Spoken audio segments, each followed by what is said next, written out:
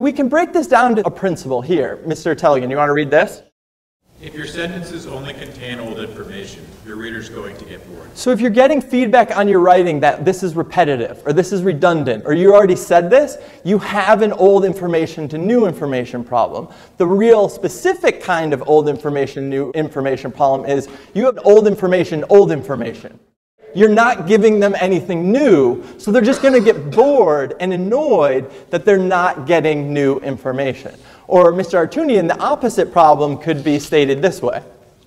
If your sentences only contain new information, your reader is going to get confused. So if you're getting feedback that says sort of like, where did this sentence come from? Where does this paragraph come from? Or I'm lost, or this is too choppy, that's again an old information to new information problem, but it's this slightly different kind, which is new information to new information. You're throwing things that the reader doesn't have a context for, so it's going to be difficult for them to absorb.